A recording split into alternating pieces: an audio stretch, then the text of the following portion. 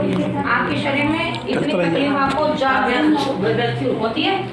वो इसी की वजह से क्योंकि बजरंग बली की आप सेवा कर रहे हो और कर क्या रहे हो?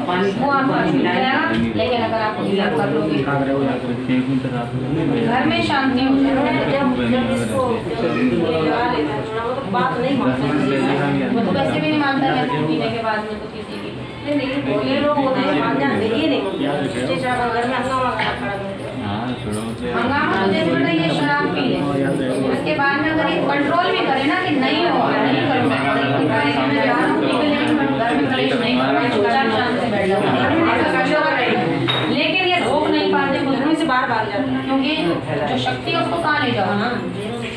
उनको कहाँ ले जाओ? वो तो तुम्हें नहीं रुकने देगी बचने नहीं देगी किसी प्रकार की। वजह से ही मैं वहाँ से आई नोएडा से। इनके वजह से।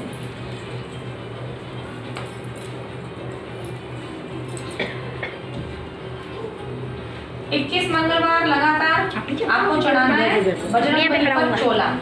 ठीक है? जो आपने स्थापना की है उन्हीं पर